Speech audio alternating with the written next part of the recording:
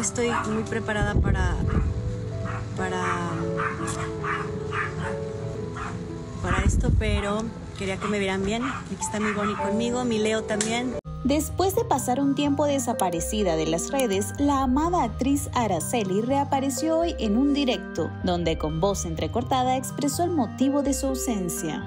No estoy preparada, solamente quiero decirles que la gente que me pregunta, que, que, lo quiero tomar con todo el respeto del mundo porque la, la prensa dice cosas y, y, el día de mañana que me pregunten cómo están, cómo estás, sabrán cómo estoy.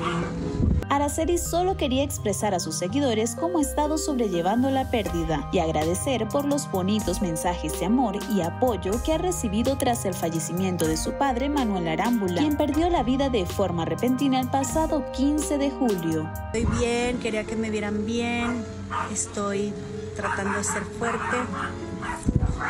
Gracias por todo su cariño, por su amor. Aunque no hay detalles específicos de la causa de su muerte, se dice que fue a causa de la terrible enfermedad que hemos vivido durante toda esta pandemia. Me quise arreglar para que para que me vieran bien y me, me, sienta bien.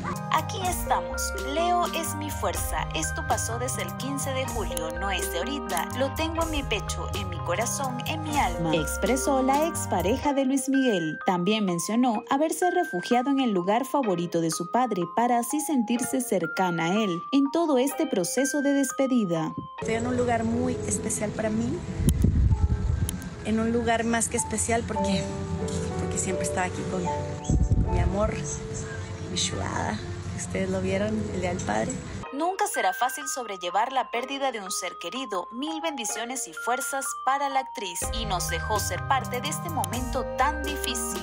Pero bueno, tratando de asimilar, aquí lo tengo en mi pecho, en mi corazón, en mi alma, siempre, siempre siempre, siempre, siempre. Por otro lado, la famosa también habló sobre el tema de su salud, luego de que diversos medios de comunicación revelaran que ella se había contagiado de coronavirus y aseguró que está bien y no dio positivo a la enfermedad. Quise arreglar para que, para que me vieran bien y me, me sienta bien me sintiera bien porque no, no tengo COVID, como dijeron. Finalizó su live expresando que estaba acompañada de todos sus seres queridos y que juntos estaban tendiendo la mano para seguir adelante tal y como lo quería su difunto padre. Por otro lado, confirmó que a pesar de la terrible noticia continuará con la novela, pues para ella es importante y a pesar de no tener muchos ánimos, lo hará por su padre y sus seguidores. Eh, no, no tengo muchas ganas de grabar la novela, pero la voy a hacer por él, con todo el amor y con todo el cariño. No he visto los promos porque solamente vi un pedacito y me parecen muy bonitos. Gracias.